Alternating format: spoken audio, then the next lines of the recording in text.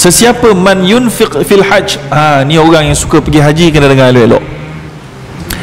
Ibnu Jauzi kata ada orang yang dia ditipu oleh iblis bila ada duit lebih je dia nak pergi haji. Ada duit lebih je dia nak pergi haji.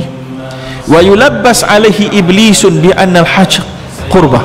Dan iblis akan bawakan satu tipu daya bahawa haji itu boleh menghampirkan kamu pada Allah.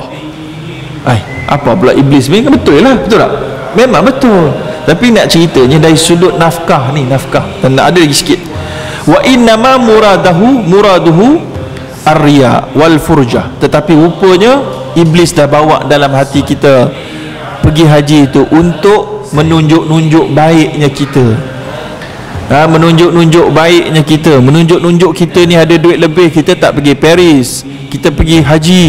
Kita pergi umrah. Baik kita ni nak jumpa Allah kat sana kat Malaysia tak ada Allah kot. Nak jumpa sampai kat sana ya? Yeah? itu dia.